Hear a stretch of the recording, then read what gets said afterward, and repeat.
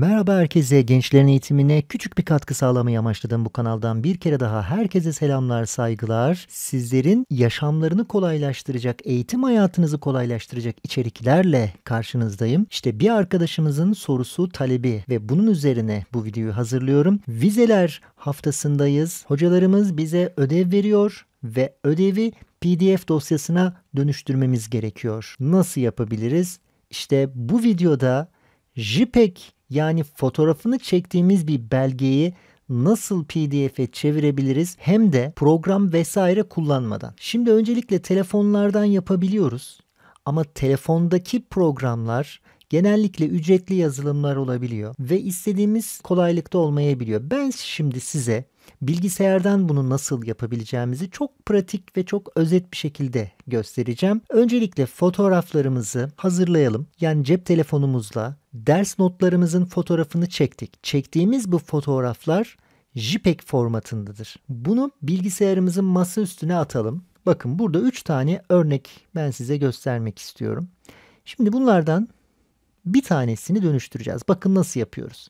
Şimdi sağ tıklayıp yazdır dediğimizde bakın karşımıza şöyle bir sayfa çıkıyor. Burada yazıcı kısmında PDF var. Gördüğünüz gibi burayı seçtim. Evet.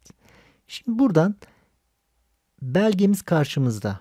Seçenekler kısmında da yazıcının özelliklerini dikey ya da yatay hangisini istiyorsak belgemizin türüne göre örneğin bu dikey olsun istiyorum. Dikeye tamam diyorum. Bakın şimdi yazdır dediğimde önce bunu dosya olarak kaydedecek. Şimdi ben buraya bir örnek olarak diyorum ki deneme yazdım. Kaydet dedim. Masa üstünü seçtiğim için bakın PDF dosyam geldi. Bakalım nasıl olmuş? Evet.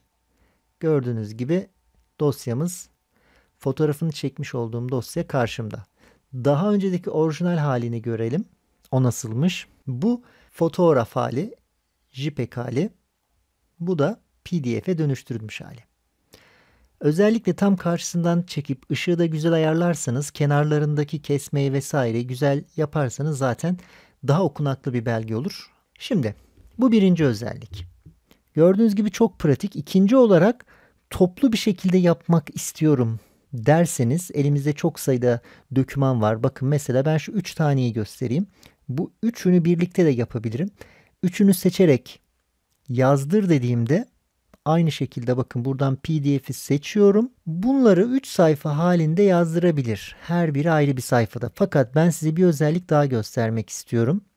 Örneğin e, bu şekilde tek bir sayfa içerisinde 3 belgem olsun isteyebilirsiniz. Böyle yapabilirsiniz ya da yatay olsun. Bakın burada değişik istediğimiz bir tanesini seçebiliyoruz.